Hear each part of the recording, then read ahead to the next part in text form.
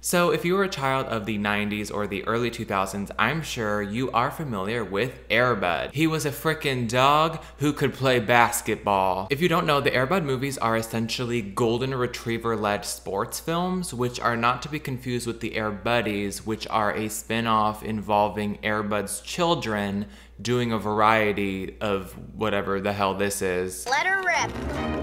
Mm.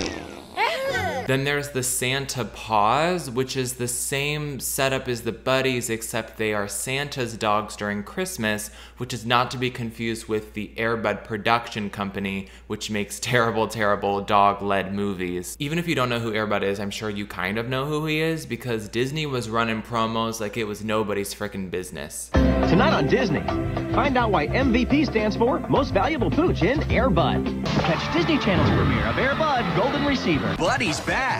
And this time he's got a brand new goal soccer. Be sure to catch Disney Channel's premiere of Airbud 3 World Pup. Brand new adventure in Airbud 7th Inning Fetch. Coming to Disney DVD and video this summer. The premiere of Disney's Airbud Spikes Back. Monday at 8, 7 Central on Disney Channel. There's so much media surrounding Airbud, there's so much extended lore about the character that it really does feel like the Airbud cinematic universe. And I've been a fan of Airbud for a very long time, so it feels like my duty to share my love with you. It feels like it's my duty to share the history with you. So let's begin our journey through the ABCU. Chapter 1 Who is Airbud?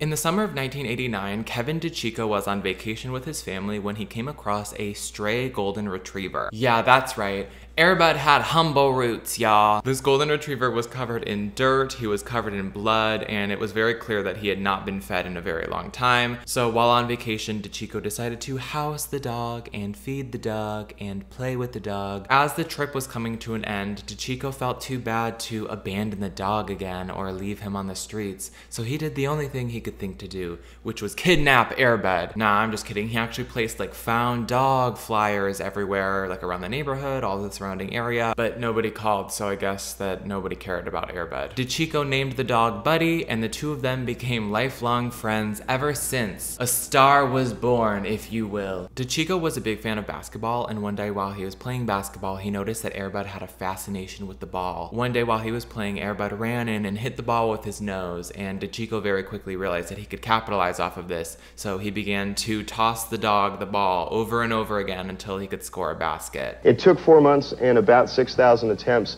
to actually sink a single basket. So it says a lot about not giving up. He was teaching him how to do soccer. He was teaching him how to do basketball and football, and according to his Wikipedia page, frickin' hockey. In my mind, I immediately pictured like a dog holding a hockey stick in his mouth and like running around and like whipping it.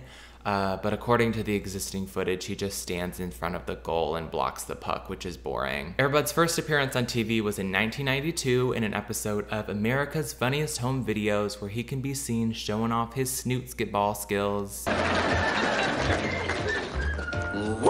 All right, another basket.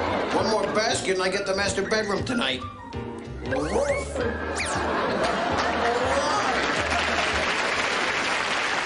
I don't know if anyone remembers this, but AFV used to do that thing where they would be like, "What's the funniest like video of the episode?" And then the in-studio audience would like vote on whatever the funniest was. According to Airbud's literal biography, which is called Go Buddy, their video was chosen in like the top 3 of the funniest, and when it came to voting, they only got second place, and Airbud's owner goes on to say that he felt very burned by this. It was the same year that Airbud was invited onto David Letterman to show off his basketball skills there. Kevin DiCicco. Hi, Kevin. How are you? Nice to see you. DiCicco. All right, good to see you here. Wow, man. Hi, buddy. How you doing? Boy, this is some dog, and that's uh, what is it? That's a golden uh, Golden retriever. golden retriever. Of course, that's Yes. like the the most popular dog now. Yeah, very lovable dog. Yeah, and uh, what's his name, dude? Oh, Bud. Buddy. Bud. So, sure. Buddy. Okay. How old is this dog? Bud's almost five. Uh-huh. And uh, what are you guys going to do? Well, he's going to shoot baskets on a regulation size rim. Really? The dog is going to shoot baskets? Yeah. All right, music. Can we have music for this? Well, that's right. Drum roll, uh, just drum, roll up okay. the point. Okay, here we go. So drum roll is Buddy and Kevin. Uh, this this this is. sit, boy. Oh! Sit, boy. Higher. It didn't take very long for Airbud to become a sensation. I think especially in the 90s where anything like slightly out of the norm was blown out of proportion, kind of like gay people, I don't know. Suddenly, everybody wanted Airbud on their TV show. There were entire news segments dedicated to Airbud and his abilities and his relationship with his owner. Won't you welcome Airbud, the Wonder Dog.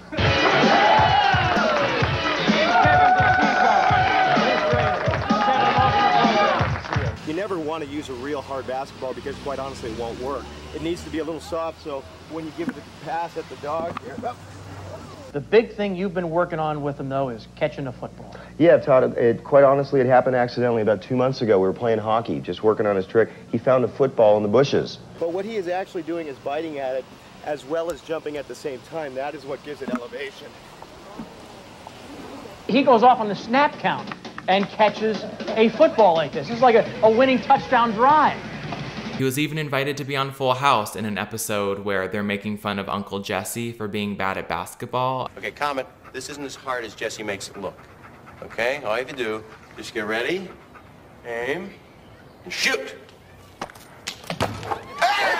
In Airbud's biography, his owner says that his dressing room was right next to the Olsen twins, which is amazing. Apparently, Airbud was doing halftime shows for the Lakers and for different like basketball people. I don't know anything about that, but apparently it happened. After seeing Airbud's skills and seeing his growing star power, a lot of major studios wanted to capitalize off of it, and they wanted to make a movie about a dog who could play freaking basketball. And you've got a movie coming up, apparently, is that Well, it? we've got a project we're putting together right now. It's in the writing stages. It'll be an inspirational kids movie about a boy and a dog. And so in 1997, years into Airbud's career, the first Airbud movie was officially released. Chapter 2 Airbud, the movie. So, the Airbud movie is about a dog who is owned by an abusive circus clown. At the beginning of the movie, the clown is like trying to entertain the children, but like everybody just hates everything he does. But Airbud is a star. Airbud can like catch a ball many times. Airbud is being abused by this clown because the clown is jealous that Airbud has more star quality. And so he like threatens to like hit the dog and like send the dog to the freaking pound or whatever. You're going to the pound! You hear me? And so while they're driving back from one of these parties, Airbud slips out of the back of the truck and is sitting in the middle of the freaking road. Out of nowhere, a car whips out and slams into Airbud and he's murdered. No, I'm just kidding. So this is where we meet our main character whose name is Josh and he's very, very depressed, and not just because of his bowl cut. He's very sad because his father recently passed away, and the justification in the movie is that he died in a plane crash. I know that the only people who are gonna care about this detail are people who are trash in the year 2013, but this child actor actually grows up to play Alec in the City of Bones movie. You think that this family crashing into Airbud is gonna be the catalyst of the film, and that they're gonna pick up the dog and they're gonna adopt him, but actually they just abandon him in his clown outfit in the middle of the street street. Josh begins playing basketball at this abandoned church type place, and while he's playing, he notices that there are signs that Airbud is lingering out in the wilderness. One of these signs is like part of the clown outfit, like ripped up. One day while Josh is playing basketball, Airbud reveals himself and then reveals that he can dunk like a pro.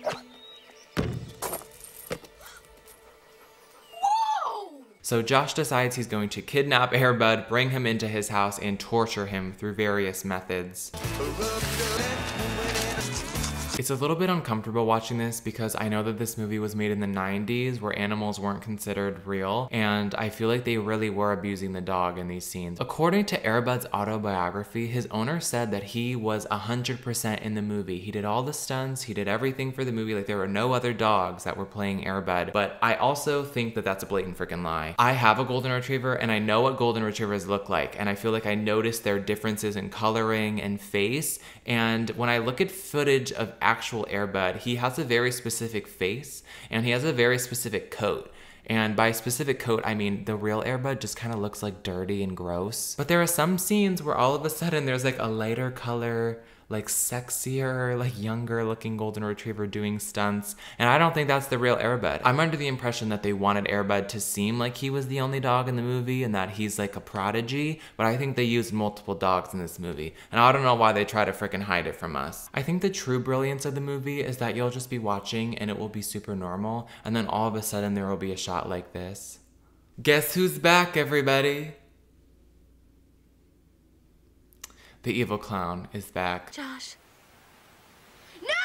You immediately get really worried about how they're gonna find Airbud because, like, it's the 90s. How are they gonna find where the dog is or where the clown lives? Because they can't, like, dox him on the internet. But it doesn't matter. He just, like, walks down the street in the next scene and grabs the dog and leaves. I feel like I need to clear up a misconception about the frickin' Airbud movie because this has been driving me crazy for years. People say, imagine how it would feel to be the kid who got cut from the basketball team so they could make room for a golden retriever. And I just have to say this right now Airbud is never on the frickin' basketball team. Do you even know your Airbud lore? You clearly frickin' don't. Bitch. I think it's funny to say bitch because like dog, you know what I'm saying? Airbud is never on the team. What actually happens is is that in the big final game or whatever the frick, one of their team members gets hurt, they're down a player, and then they begin to miserably lose to the competition. However, Airbud, who was abandoned like 10 minutes earlier, he like knew that it was time to save the day. So he runs in all stoically and they dress him up like in a uniform and he joins the team as the fifth member. There is an in-universe explanation about why Airbud is allowed to join the team because everyone that was watching was thinking about like logic and the rules. According to the rulebook, there is nothing that says a dog cannot play on the team.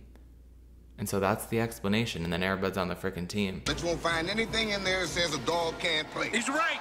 Ain't no the dog can't play basketball. The rulebook also doesn't say anything about punching your freaking opponent in the freaking throat. As expected, Airbud absolutely freaking dunks on everybody, and then the Timberwolves win. Yay! You think that the movie is gonna end with the Timberwolves winning the championship, but since this movie is a subversive masterpiece, it actually ends with a courtroom custody battle over Airbud. They decide the only way they can truly decide custody of the animal is to put him in the middle of a circle with the two people on opposite ends and whoever he goes to will be his rightful owner. And that's actually what happened with my parents' divorce. My parents aren't divorced, I don't know why I said that. Airbud obviously runs to the Framm family, and I cry. This movie is one of my favorites of all time because it is hilarious, the story is really heartfelt, and it's like pure 90s. But let's take a look at what the critics have to say about the movie. So, Dylan L who is a super reviewer, he said, It's a movie about a dog that plays basketball. What else do I have to say? Interestingly enough, my review is the exact same, except I give it a 5 star, so that's confusing. Homegirl Maria Garcia said, Airbud may be bland, but it's also offensive. I don't know what she thinks is offensive, but I think the only thing offensive is that picture. Oh, I feel bad saying that. She looks delightful. I'm sorry, Maria. Mike Clark said that the movie was dull but harmless. But didn't that other bitch say that it was offensive? When the Airbud movie came out, a lot of the critics thought that the movie was very stupid and poorly made, but it actually grew quite an audience with children and with families. Airbud grossed a total of $27.8 million at the box office and was considered a success by Disney, who was a money-hungry snake. Airbud very quickly became a 90s legend, even getting nominated for a Kids' Choice Award in 1998 for Favorite Animal Star. I started watching clips from the 1998 Kids' Choice Awards, and it's the most 90s thing you'll ever see. First of all, Rosie O'Donnell is hosting, and I don't know why she was ever given that gig, if I'm being completely honest. Kids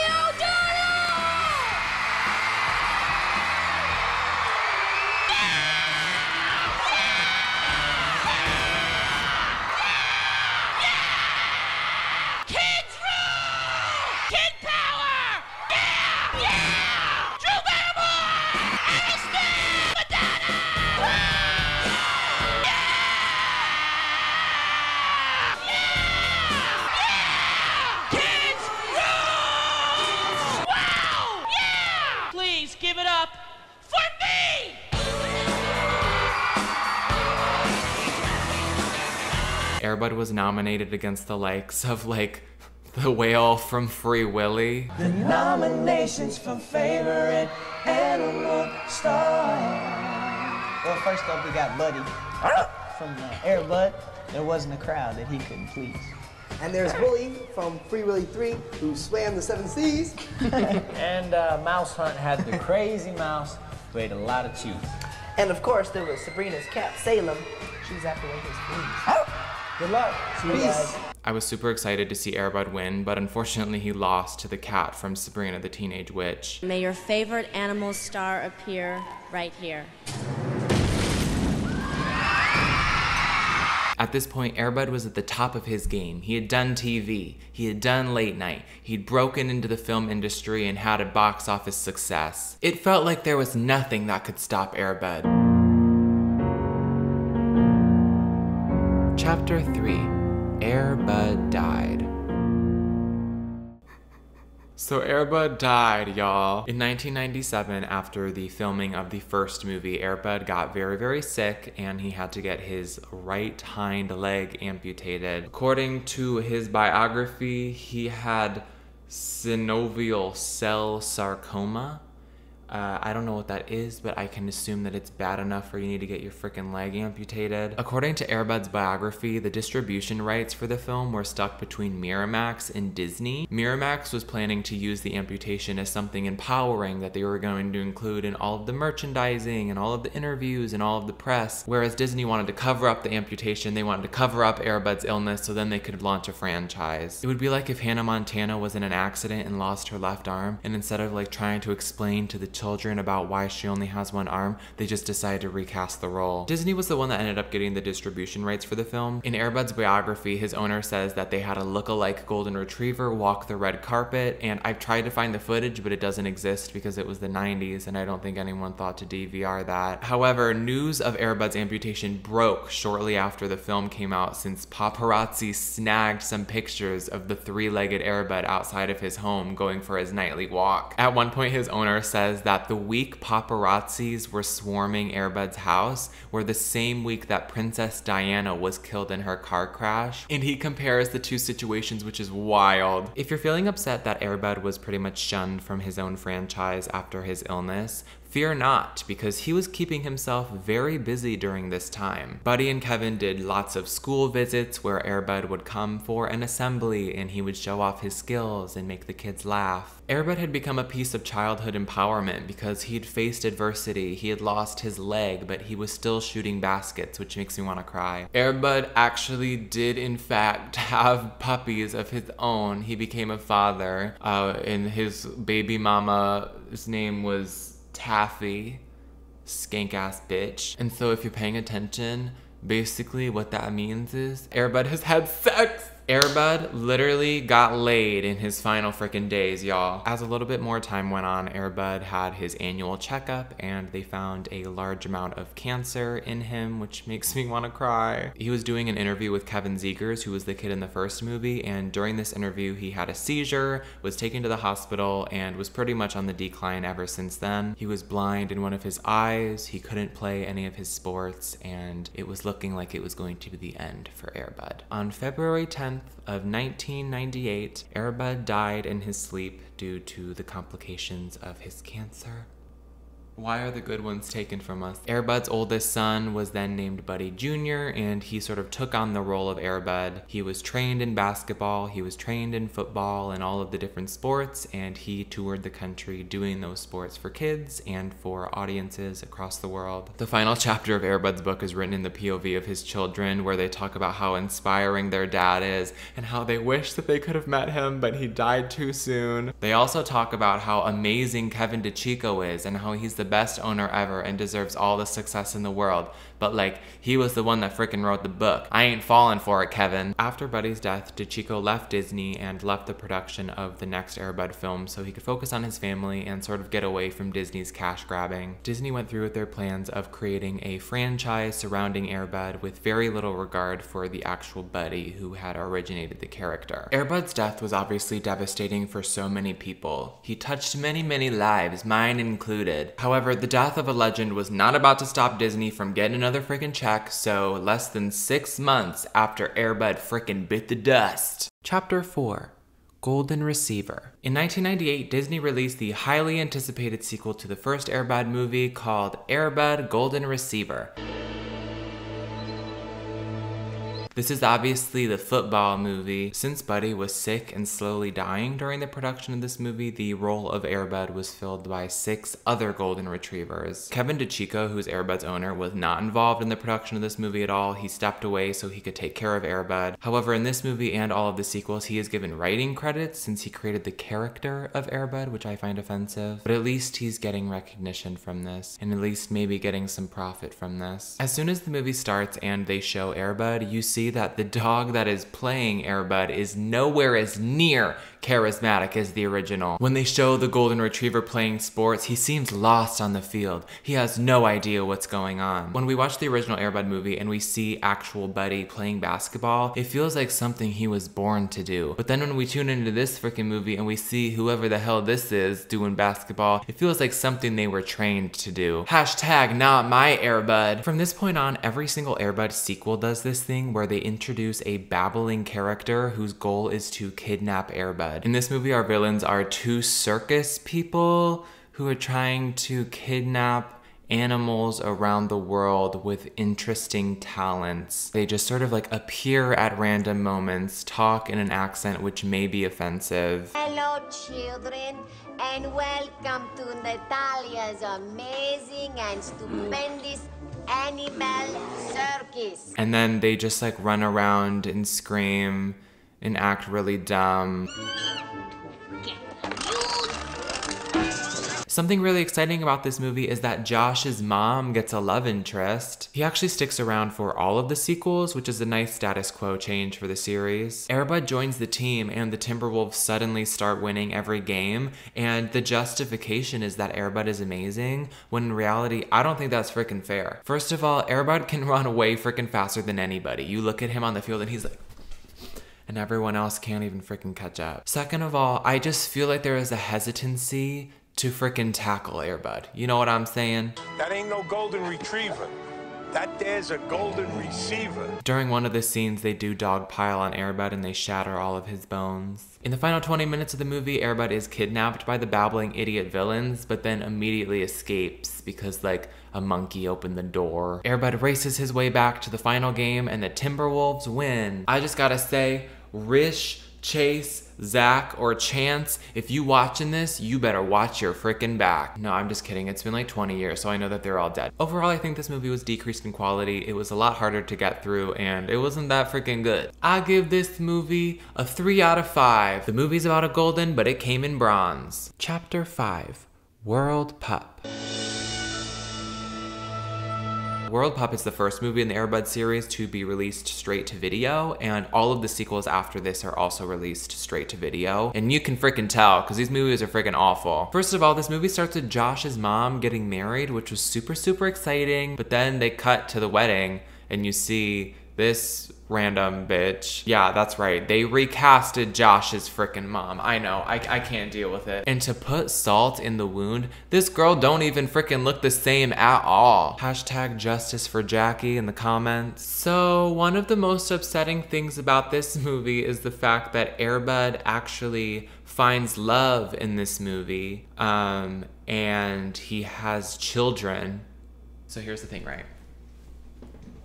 If you're paying attention, that means canonically Airbud has had freaking sex. The way that it's introduced is that this rich English family moves in down the street and they own a golden retriever who Airbud like stalkingly stares at. And since they don't talk, you immediately think that he wants to sleep with her, even though he's a dog. The narrative is that Airbud is like randomly leaving the house at night, like he's crawling out the window and disappearing, and no one knows where he's going. All the characters like, what is Airbud doing? Like, I wonder if he has a secret and you don't know what it is, but it's implied that he's going to go hook up with the other dog. And the thing is, they never even like announce the pregnancy. It's never like one moment where it's like, she's having puppies, or like, Airbud is he showed us that he's a father. He showed us an ultrasound. Like there's none of that. Literally just out of nowhere, it's the climax and it's just announced that like she's in labor and they're delivering the puppies. What is it?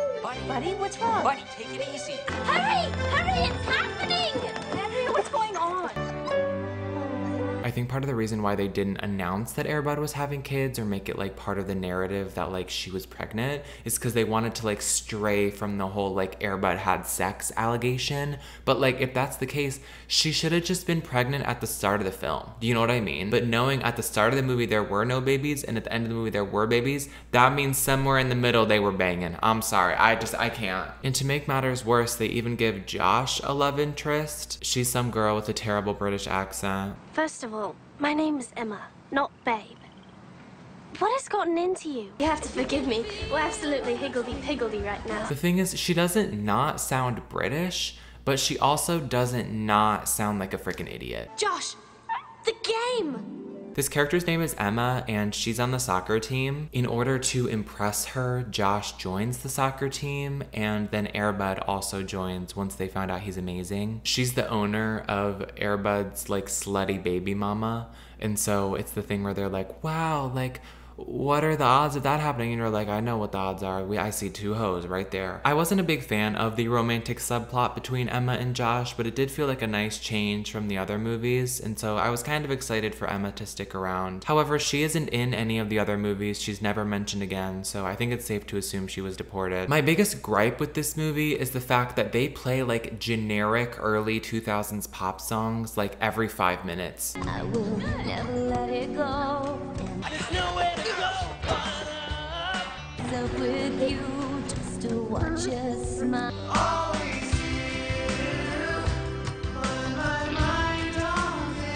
The stupid villain of this movie is a dog catcher whose plan is to kidnap Airbud, which is really original. In the final 20 minutes of the movie, Airbud is kidnapped, but he escapes in time to help the Timberwolves win the big game. They race back to the soccer game and they hype up the fact that like there's only a few minutes, like we have no time, what are we gonna do? Josh, the game!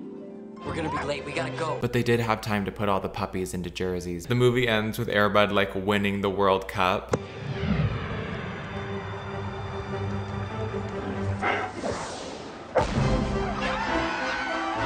Overall, I would say this movie is pretty freaking awful. The movie was hard to watch, it was hard to get through, there was lots of stupid plot lines, stupid characters, and terrible, terrible plot decisions. And Airbud had sex. So I don't know what else to say. I give this movie a 2 out of 5 because Airbud airbusted inside of another dog. Nothing but magic, Frank. Nothing but Air Bud. Chapter 6 Seventh Inning Fetch. So in 2002, Disney released the fourth film in the ABCU titled Airbud Seventh Inning Fetch. This is the baseball movie, as expected. The biggest thing about this movie by far is the fact that Josh leaves. Based on the decline of the second and third movie and also being a lot older, it would make sense that the actor for Josh would be wanting to leave the franchise. Instead of just writing the character out and saying he went away to school or he's at summer camp or something, they actually give him a very emotional send off. Don't worry, Mom, okay? I'm gonna be fine. I know you will. See you, bud. He even comes back for the final game at the end of the movie, which is exciting. From this point on, the lead character is Andrea, who is Josh's younger sister. I was prepared to hate Andrea. I was prepared to be annoyed by her or think that she was stupid. And during the first parts of the movie, I was like, oh, here we freaking go. Because she was freaking annoying. Andrea and her friend try out for the baseball team, and Andrea is absolutely terrible. She struggles at everything, but her friend is really, really good. And so her friend campaigns for her, and she's like, I'm not going to be on the team if you don't put my friend, Andrea, on the team. What about Andrea? We joined together. She's my best friend. BFF. Best friends forever. So despite sucking ass, Andrea's on the team and then Airbud starts to train her and she starts to get better and she starts to get more confident. Something really exciting about this movie is that the original actress for Josh's mom, Mrs. Framm, is back. Her and her new husband just had a baby and so there's a new addition to the family. I really like the way this all developed. I like the way that Andrea was feeling like she wasn't getting attention anymore with Josh leaving, but also with the new baby. At the beginning of the movie, everyone's there for like a picnic and then they cut to some man and you're like who the hell is that man and then they're like this is the stepdad from the last two films i felt a little bit disrespected that they thought i would have noticed that they recasted Um, but it's fine. There's one moment where in the background you can see a wedding picture that's like framed in their house. And in this picture, you see the original actress for the mom, but then the new version of the stepdad neither of which were there for the on screen wedding in World Pup. There is a piece of good news about this movie, which is the fact that Airbud's baby mama is nowhere to be seen. She's never even mentioned. I think it's safe to assume that she probably died in labor. Since this is the baseball movie, you might be wondering yourself, like, how does the dog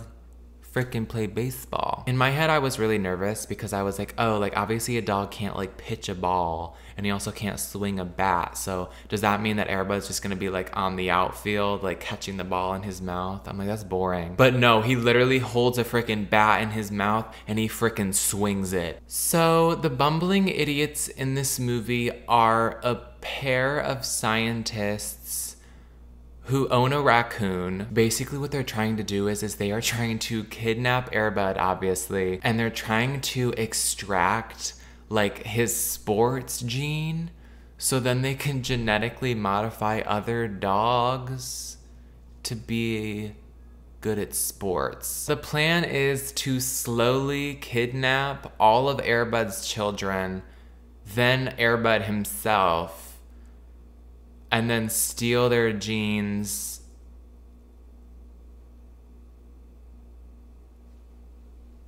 and then they're gonna make their own Airbud. I don't understand if I'm honest. At the beginning of the movie, it's established that each of Airbud's children has like inherited one of his sports abilities. So what this implies is, is that Airbud is the avatar of sports playing animals. In the final 20 minutes of the movie, Airbud is kidnapped, but he escapes in time to help the Timberwolves win the big game. Andrea like shakes her butt before scoring a home run and winning the game for the team. Airbud wins the World Series and then the movie is over.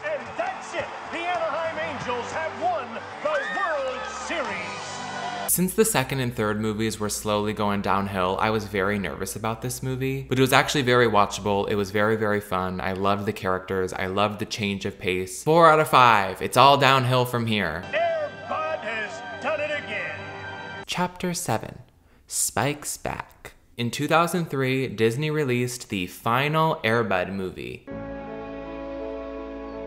The bad news is, is that this is the worst one by frickin' far. This movie starts on the last day of school before summer vacation. Airbud is running through the streets to pick up Andrea from school, and when he gets there, we see this bitch. We finally come around to the idea of Andrea being our lead character, and just like that, they recast her to a girl who looks and acts nothing like the original. If you're paying attention, this means that every single character in the Framm family has been recast at some point, besides Josh, who refuses to ever show his face in this franchise again. And then later, there's like a family breakfast going on, and the stepdad has also been recasted a second frickin' time. But at this point, Jackie Framm is in it for the long haul. She was gone for one movie, but she's sticking around. She's even in a handful of the Air Buddies movies. If you're wondering, Airbud's children are not in this movie and they are never mentioned again, so I think it's safe to assume that they were racist on the set. Andrea's best friend moves to California and she's very sad that she won't be able to see her anymore. Saying goodbye.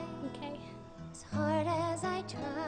She tries to save up money to buy a plane ticket, but she's broke. So what she decides to do is is to join the volleyball team because the championship game is in California. If you're wondering about the volleyball in this movie, I just have to say it's freaking awful. In all of the other movies, I feel like it's somewhat believable that Airbud is playing the title sport. However, in this movie, it doesn't feel like Airbud is playing volleyball. There are some scenes where it feels like they have like an intern like lifting him up so he can like hit it down.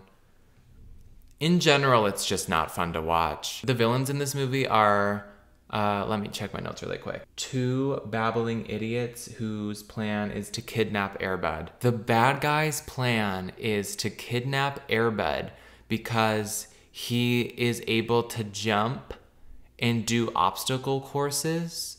And there's an in town museum where there's a very expensive diamond that is guarded by lasers. This literally sounds fake. And so they want to kidnap Airbud, bring him to this museum, and have him jump through the lasers.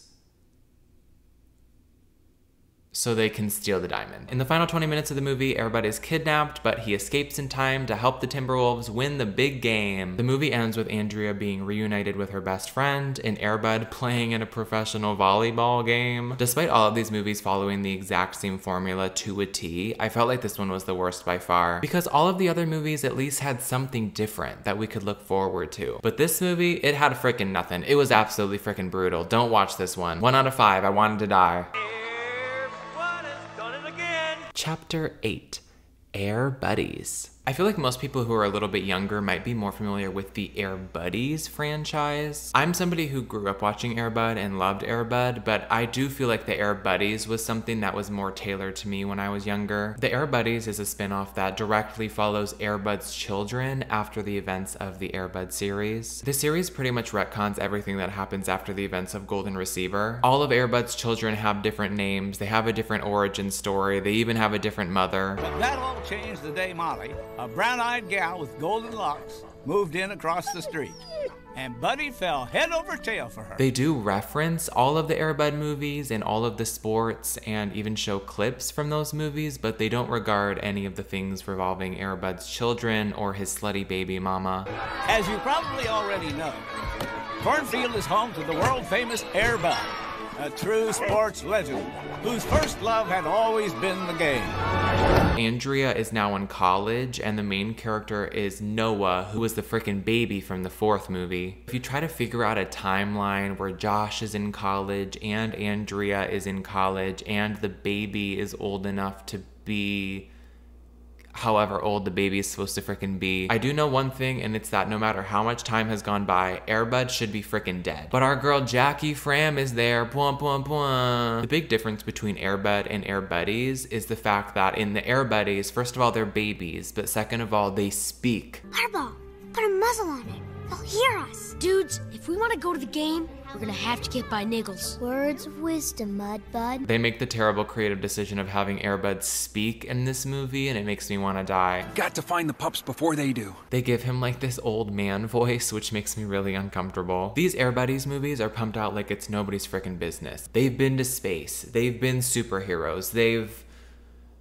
probably been to the frickin' resurrection, I don't know. In general, the Air Buddies movies are a lot more kiddish and they're also pumped out a lot more frequently. They don't follow any through line, the Framms are not in a lot of the later movies and the buddies just sort of do their own thing. I've seen a couple of the Air Buddies movies from when I was younger and I do think that they're very not good. However, for this video, I did not specifically watch any of the Air Buddies movies for one reason in particular. Chapter 9 controversy. Okay, so if you're wondering about what this big controversy is, um, I feel like it's pretty self explanatory. They killed the buddies.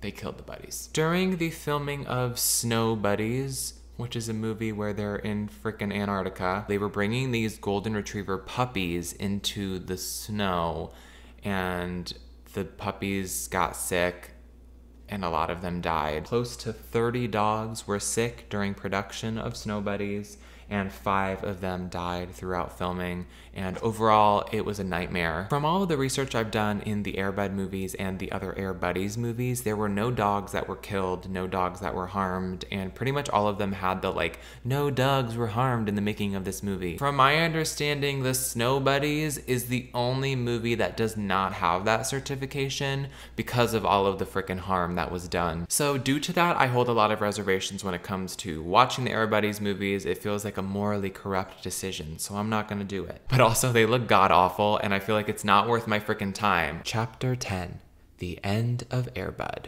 There has not been a new Airbud movie in over 20 years since the release of Spike's Back. Even the Air Buddies has entered its 10th year without a sequel. There is a part of me that thinks the only reason we haven't had another Airbud movie in so long is because the writers couldn't think of any good dog sports puns. But I've been brainstorming and I have some potential ideas for an Airbud sequel. First of all, we've got Airbud track and fetch. He's in the track and field team, and so he can either like run on the track and like jump hurdles. What's the thing where you throw the ball? He could do that. He could be like, whew. Then I have an idea for like a snowboarding movie called Airbud Snoot Boarding. He can like strap himself on there and do it. I think that'd be pretty sick. Then we got Airbud Dog Dodgeball. It's a dodgeball movie. Um, so basically, what he would do is, is I think that he would be on the dodgeball team, and they would throw the ball. And I guess if he touched it, he would be out. I thought he would hit it with his nose. We're gonna workshop that one. Airbud Wiffle Ball. I don't even know what wiffle ball is, but I think that it's a sport for kids that's simulating baseball and I guess they've already done that. But you know what? You could do a spin-off where like Josh is back and he has a son and he's teaching how to do wiffle ball. Like, I don't freaking know. It's just a pun. I don't know. Finally, this is probably the worst one by far. I'm thinking what we could do is, is we could put Airbud in the Olympics and he can be on the toboggan team and the movie can be called Airbud Toboggan. Wait, what is a toboggan? I don't even know. What is a toboggan? It is a long, narrow sled. Oh, so that's not a team sport. So I guess that Airbud could just run and then jump on the toboggan and go down the hill like professionally. I, I don't freaking know. I know that we haven't talked about the actual Airbud in quite a while, but if you're wondering about how his legacy has played out in the modern day, from my understanding, Kevin DiCicco was still doing events with Golden Retrievers where they would shoot basketballs. If you look online, there's tons of videos of him at different sports arenas, like entertaining crowds. Certainly like the focus and determination here of Airbud. Doesn't look like he has any pregame jitters. Nice job. Love his approach. Looks like he can catch, track him down. I like the range. Well done by Air Bud. He's been popularized in over 15 major motion picture films. The super athletic golden retriever Buddy, aka Air Bud. Today, the Air Buddies, along with owner Kevin DiCicco, will demonstrate their legendary football catching abilities.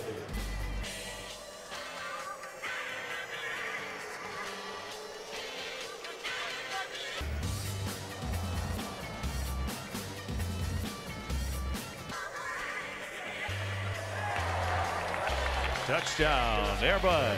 It's unclear if these golden retrievers are the children of the original Airbud or if they're just random ass golden retrievers. But based on my internet research, there aren't any recent clips of Airbud at any sporting arena or any event, so I can only assume that the character has been retired, but that may not be true. The people who made the Airbud movies went on to make a production company called Airbud Entertainment where they make terrible dog-led movies. One of my favorite movies that came from this production was the Pup Star series, which is a terrible dog singing contest.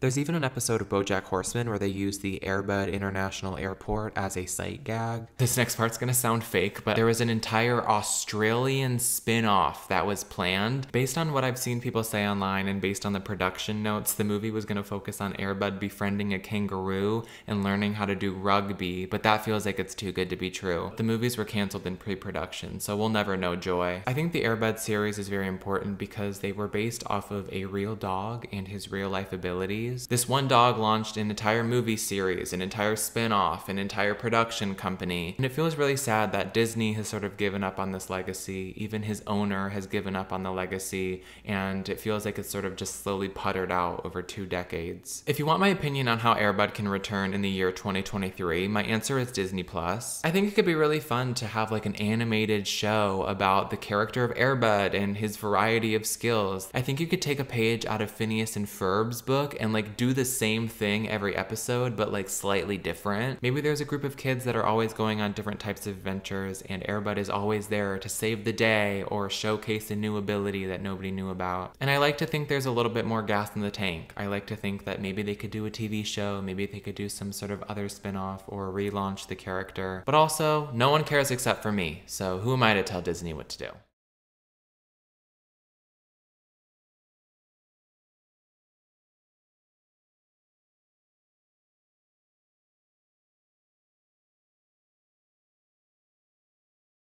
Right now, Buddy the dog remains on doggy death row at Brook City Base. But this morning, city attorneys suddenly agreed to let Buddy live while courts review his death sentence.